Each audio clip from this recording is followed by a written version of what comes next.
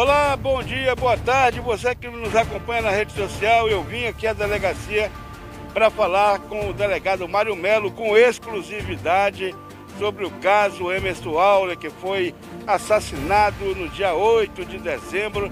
E a gente precisa saber alguns esclarecimentos, o que de fato aconteceu, a prisão do suposto criminoso.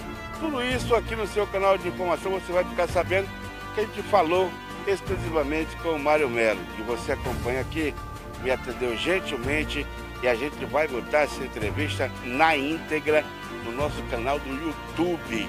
Sabe por quê? Porque é uma entrevista bem ampla, bem longa e que você possa ficar bem ligado e ficar sabendo detalhes sobre este crime que mexeu com a cidade de Humaitá, porque o Emerson Auler não era só é, proprietário de terra, mas ele era também o presidente da Associação Transparência. A gente queria saber, precisamos saber, o crime teria sido por motivação política? Você quer saber, eu quero saber. Teria sido por latifúndio, por área de terra? Você quer saber, eu quero saber.